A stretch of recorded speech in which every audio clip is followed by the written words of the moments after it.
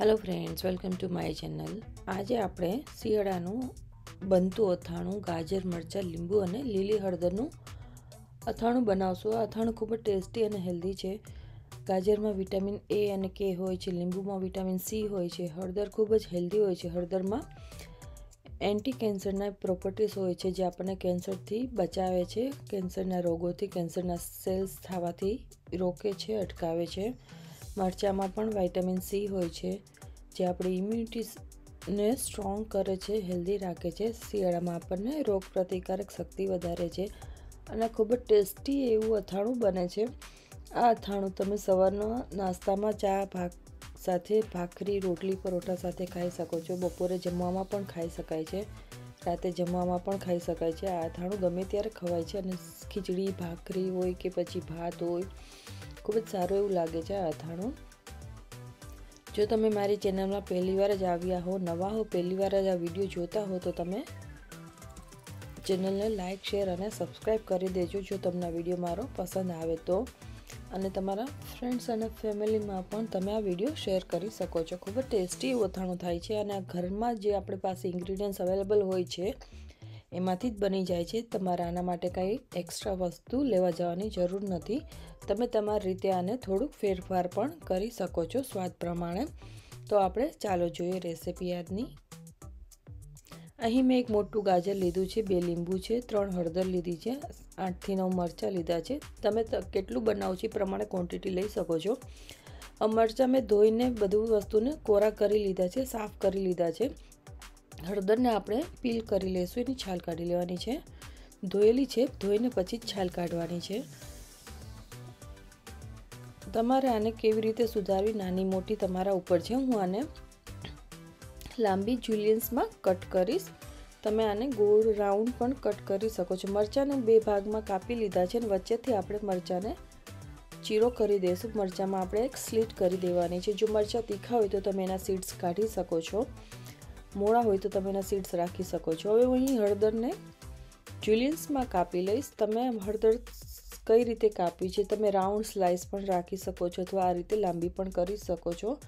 અથવા તો તમે એને ગ્રેટરમાં, હળદરને ગ્રેટ પણ કરી શકો છો, જો તમારે પતલી એવી જોતી હોય હળદર. હવે આપણે મરચાં સાથે એમાં હળદરને પણ રાખી દઈશું અહીં એક મોટું લાલ ગાજર લીધું છે. તમારી પાસે નાનું ગાજર હોય તો તમે બે ગાજર લઈ શકો છો. હવે ગજર ગાજરના પણ આપણે આ રીતના પીસીસ કરી લઈશું એને પણ આપણે લોંગ લાંબી સ્લાઇસમાં જુલિયન્સમાં કટ કરી લેવાના છે ગાજરને. ગાજરને તમે રાઉન્ડ પણ કટ કરી શકો છો. હવે આ બધું આપણું કટ થઈ ગયું છે અને મિક્સ કરી દઈશું સારી રીતે. હવે આમાં હું બે ટેબલ સ્પૂન જેટલું મીઠું એડ કરી દઈશ. મીઠુંને આપણે એડ કરશું એટલે કારણ કે એમાં જેનું મોઇશ્ચર હોય, પાણી હોય રિલીઝ થઈ જાય મીઠાની સાથે અને પાણી નીકળી જાય તો આપણે આને અડધી કલાક આ રીતે મીઠામાં રાખવાના છે. અડધી કલાક થઈ જાય પછી આપણે એને ઢાંકીને રાખી દેવાનું. અડધી કલાક પછી આપણે તમે જોઈ શકો છો મીઠું અને આ પાણી બધું રિલીઝ થઈ ગયું છે. તો હવે આપણે આ પાણીને નિતારી લેવાનું છે. આ પાણી ફેંકી દેવાનું છે. યુઝ નથી કરવાનું. તો હું એક સ્ટ્રેનરમાં એને કાઢી લઈશ. પાણી બધું સ્ટ્રેન કરી લેવાનું છે. બધું પાણી આપણે પાણી જવા દેવાનું છે. સારી રીતે આપણે ગાજર મરચાંને કોરા કરી લેવાના છે હળદરને. તમે આને પંખા નીચે થોડી વાર રાખી શકો છો ડ્રાય કરવા માટે. ત્યાં સુધીમાં આપણે મસાલો તૈયાર કરી લઈશું. મેં અહીં છ ટેબલ સ્પૂન રાઈના કુરિયા એક ટેબલ સ્પૂન જેટલું મેં મેથીના કુરિયા અને કલોંજી અને વરિયાળી લીધી છે. એને પણ આપણે ડ્રાય રોસ્ટ કરવાના છે, જેથી એનું મોઇશ્ચર હોય એ નીકળી જાય અને એની સેલ્ફ લાઈફ વધી જાય. પ્રિઝર્વ ખરાબ ન થાય, આપણું અથાણું સારું રહેશે. તો સારી રીતે આપણે આને ધીમા ગેસ ઉપર શેકી લીધું છે. હવે અહીં હું તેલ એડ કરી દઉં છું. દોઢ કપ જેટલું તમે મસ્ટર્ડ ઓઇલ ઓઇલ લઈ શકો છો, રાઈનું તેલ, સિંગ તેલ લઈ શકો છો પીનટ ઓઇલ અથવા તો તમારી પાસે ઘરે જે અવેલેબલ હોય ઓઇલ વેજીટેબલ એને લઈ શકો છો. ઓઇલ ગરમ થઈ ગયું છે. હવે આપણા મેં ડ્રાય કરી લીધા છે. ગાજર, મરચાં અને હળદરને એક બોલમાં મેં લઈ લીધા છે. એમાં મેં એક લીંબુ સુધારી લીધું છે. નાનું એવું, નાની નાની પીસીસમાં એક મોટું લીંબુ લીધું હતું. એમાં હું બ્લેક સોલ્ટ એડ કરી દીધું છે. મેંગો પાવડર છે એક ટીસ્પૂન જેટલો. એક ટીસ્પૂન કાશ્મીરી લાલ મરચું પાવડર છે. મીઠું આપણે ટુ ટીસ્પૂન અથવા સ્વાદ અનુસાર લેવાનું છે. હવે આપણે શેકેલા મસાલા જે છે એ આપણે એડ કરી દઈશું. હવે આમાં મેં રેડીમેડ જે આપણે અથાણાનો મસાલો આવે છે, કુરિયાનો એડ કર્યો છે. ઓપ્શનલ છે હોય તો એડ કરો અથવા સ્કીપ કરી શકો છો. એની જગ્યાએ તમે રાઈના કુરિયા, મેથીના કુરિયાને ક્વોન્ટિટી વધારી શકો છો અને લાલ મરચું પાવડર વધારી શકો છો. સારી રીતે મિક્સ કરી દેવાનું છે આપણે આને હવે. મિક્સ થઈ ગયા પછી અહીં મેં એકથી બે લીંબુ નાનું હોય તો બે લીંબુ લેવાના છે અને મોટું હોય તો એક લીંબુનો રસ કાઢી લેવાનો છે અને આપણે આ રસ આમાં એડ કરી દીધો છે. આ અથાણું ખૂબ જ ટેસ્ટી થાય છે, ખાટું, તીખું, સરસ થાય છે. વન ફોર્થ કપ વિનેગર પણ એડ કર્યું છે. વિનેગર પણ લીંબુ વિનેગર આ અથાણાને પ્રિઝર્વેટિવ્સનું કામ કરે છે. અથાણાને ખરાબ થતાં અટકાવે છે. આ અથાણું તમે ફ્રીજમાં સ્ટોર કરી શકો છો અને બારે પણ સ્ટોર કરી શકો છો. હવે આપણે તેલ જે ગરમ કર્યું હતું એને ઠંડુ કરીને પછી આપણે એડ કરવાનું છે.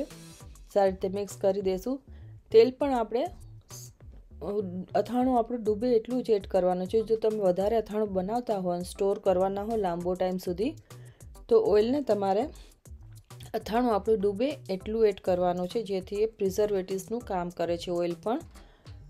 તો તમે જોઈ શકો છો, આ અથાણું આપણું અત્યારે આ રીતનું છે અને હવે આપણે અથાણાને આપણે બે દિવસ સુધી રાખી મૂકવાનું છે. બારે રૂમ ટેમ્પરેચર ઉપર ઢાંકીને. પછી તમે આ અથાણાને સ્ટોર કરી શકો છો, કાચના ગ્લાસના જારમાં ક્લીન કરીને, સાફ કરીને ડ્રાય કરીને અને પછી તમે એને ફ્રીજમાં સ્ટોર કરો. તમે આને અપ ટુ વન ઇયર સુધી રાખી શકો છો. ફ્રીજમાં ખરાબ નહીં થાય. જો તમે તેલને સારી રીતે ગરમ કરીને, ઠંડુ કરીને એડ કર્યું હશે તો અને લીંબુ અને વિનેગર પ્રિઝર્વેટિવ્સનું કામ કરે છે. સોલ્ટ પણ પ્રિઝર્વેટિવ્સનું કામ કરે છે.